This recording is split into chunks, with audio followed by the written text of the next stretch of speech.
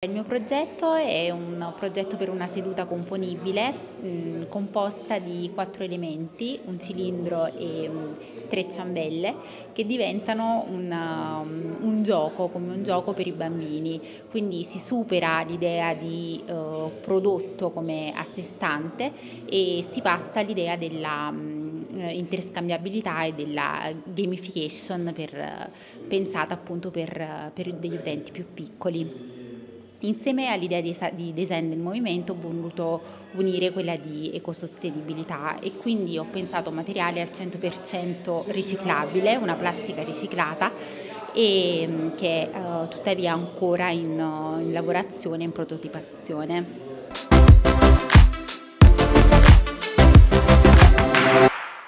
Siamo con Gioia, siamo al Design Week di Genova e siamo eh, con eh, un prodotto veramente particolare del design industriale.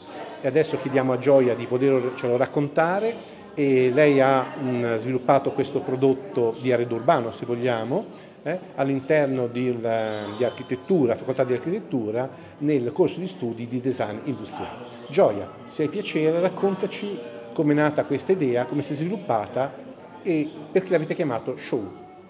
Sì, allora, l'idea si è sviluppata dopo che i nostri professori ci hanno proposto il brief diciamo, del movimento e in particolare nella Design Week di quest'anno il tema è stato appunto quello del movimento. Abbiamo cercato di unire la seduta, che normalmente è visto come un momento statico, con il movimento per l'appunto. In che modo? Abbiamo cercato di realizzare la parte superiore della seduta in poliuretano espanso che è un materiale notoriamente morbido, così che le persone quando si siedono effettivamente sul, sullo sgabello devono cercare di mantenersi in equilibrio. Questo è ancora un prototipo, vero? Sì, questo si tratta di un prototipo, effettivamente dovrebbe avere l'altezza di 80 cm, questo è fatto in scala 1 a 5 e pensavamo di collocarlo diciamo, all'interno della città in zone in cui effettivamente si passa poco tempo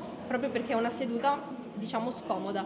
Le persone la dovrebbero utilizzare soltanto per brevi o brevissime soste e quindi pensata ad esempio per le fermate dell'autobus oppure in momenti molto brevi in cui si aspetta, ad esempio quando si prende un caffè. Ci vuoi ricordare perché questo nome così particolare? Cosa sì, richiama? Si chiama Shu perché in genovese show vuol dire respiro e noi ci piaceva questa idea di prendersi respiro, infatti come abbiamo nel nostro slogan, un attimo di respiro in equilibrio su Shu. Benissimo.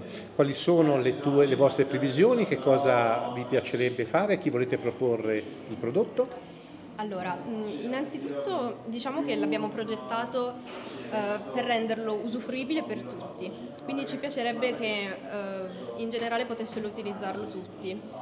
Eh, non abbiamo in particolare diciamo, idea di chi possa realizzarlo, però ecco, ci piacerebbe che il nostro design possa giovare a tutti quanti, che possa essere utilizzato da più persone possibili e che possano divertirsi diciamo, con l'installazione.